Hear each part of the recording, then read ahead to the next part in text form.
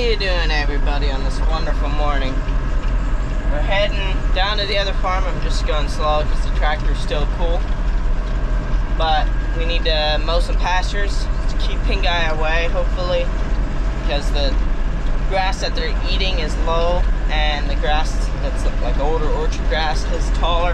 That'll poke them in the eyes and that's not really good. That'll get. So we're gonna go mow some of that down and believe there's a chance of rain and we have some other things to mow possibly once it does rain. This rye beside the lane here has pollen on it and that's the new hayfield. We'll be mowing that once it's done raining. That's the plan anyway. Adrian mowed and tedded this one and a half, two acre field yesterday. And also a field that was always pasture in the past years. We took up down all the pasture and changed that to a hayfield. So that's gonna be mowed this year. We mowed it and tedded it yesterday also. And I'm not sure yet, but I was thinking about putting that into corn. So that might go into corn this year, or it might stay a hayfield and go into, stay, might stay a hayfield this year and go into corn next year. We'll have to see though. Okay, we're here at our first paddock. I think I'm gonna mow all this out here just to kind of clean up the farm, make it look like somebody cares. Uh, then it's not much of an area here, but it is a little bit of a steep hill, so I have to be careful.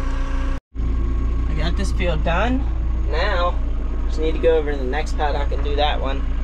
Then, come out of that paddock and go down there where Adrian is to cattle.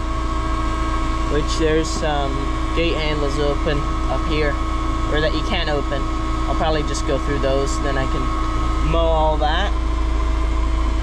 All this up here, all down to the barn. It's gonna take a little while, not because it's a lot of area, but because it's a lot of little corners. So there's another steep, really, really steep part up here, just on the other side of that fence. Got three cornered piece. It's kind of weird to mow.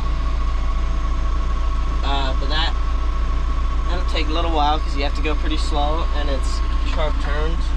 Then this here is small area, sharp turns again. Same up there. There's a fence running like right through everything, right through the middle of it. Otherwise, it wouldn't be too bad. So it still isn't too bad. It'd be a lot nicer if the fences wouldn't be there because you could get a lot more done per hour. But that's okay. We'll just mow it quick. Be done with it. Got everything mowed. Those two paddocks up there, corner around there, and then on the other side here, this side, and over there by the hay wagon. Now I'm gonna head home. And well, Adrian changed pastures here. It's it didn't rain yet, so won't be mowing hay till after that, I think. Or if it looks like it's not gonna rain at all, then we might run it. Well, I'm headed back out the lane. This field here, not sure we might do that, but I'm gonna go do four fields, at least four fields away from here, and they'd be about, shit, it's gonna be less than 10 acres, but they're smaller fields. That's 10 acres total. So I'm gonna go do that. They're about, that way, about two, two and a half miles by the road. It takes a little, little to get, get there, but not overly long get some chicken litter from these farm this these chicken barns at times. I'm on a little back road on the way up through. I'm going the back way because that's the best way to get into most of the fields. One field it doesn't matter. One field but three of the fields go in one path and you need the driveway angles this way.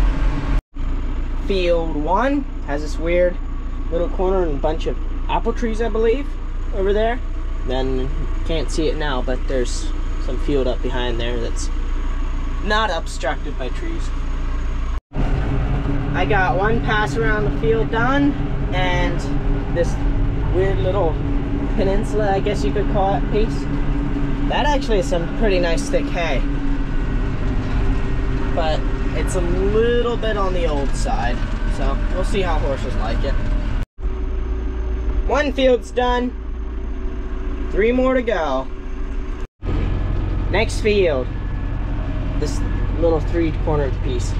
It's pretty steep here, so I have to be careful. Then the next two fields are down there. I had to come in over there. I got, I'm gonna get this smaller field done, so that way it's done, and then I can go to the bigger field. And triangle field is finished. And the next field is just down from the triangle field. This is the big field, or the biggest of this group. And I need to be careful down there. It can get pretty wet. There's actually reeds growing there. There's at times where we wouldn't be able to mow a lot of this because of it being so wet. And also as clarification, the fields I've mowed so far are for my aunt. We're doing it for making the hay for her. She doesn't live far from here, so it's just a neighbor. Then the next field up there is one that I actually rent for the first time this year. Thought I saw a deer. Anyway, that's the only other field that hay isn't going to go directly to my aunt. This is pretty well as far over as I could get. I didn't want to really push it here because over here I made a little bit of a rut with the disc to start with. I think I'm still okay. See a little bit I made a little bit of wetness where there where the grass doesn't didn't grow for whatever reason. Uh, it is still wet. Pretty wet.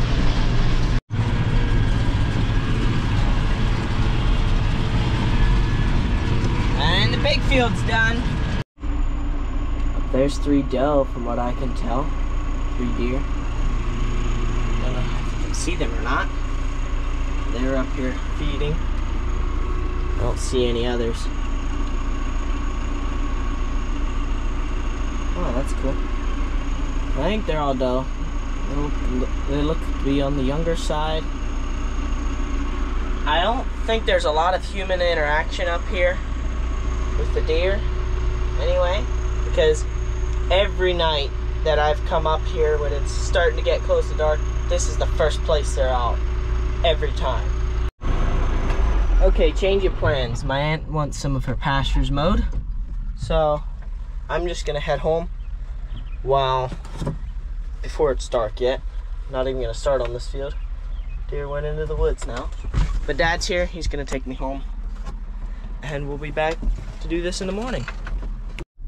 Well, this is a fun turn of events tonight. It's 8.30 and Dad gets a phone call from a neighbor that he has one of our steers over, over there. So now, we're gonna hook up the cattle trailer and head over there and get it. Adrian just moved in 2675. Adrian's just moving the 2675 right now.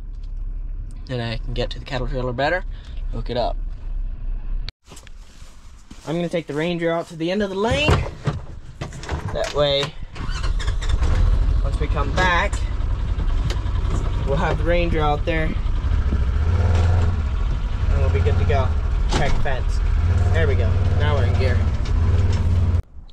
Here they come, slowly compared to me. Let's look at this rye while we're over here, out here. I'm waiting on them. So some of it is basically as tall as me. Some of it is shorter. Yeah, it's getting in my face. Earlier today I had seen there was a bunch of pollen on them. And this one has some on yet. This one not so much. Grain, the heads are formed, but the grain itself hasn't gotten hard yet. Time just so happens to be a little bit past 9.30 got trailer unhooked and dad's putting the truck away. Move the slide around a little bit. Hopefully that's better. And we got the steer put away. First we thought it wasn't ours because it didn't look quite the same but it did we went checked the cattle. Ah, he's not there. So we went back picked him up. Everything went good thankfully. So yeah this is the end of the video. Hope you enjoyed it. Thanks for watching. See you in the next video.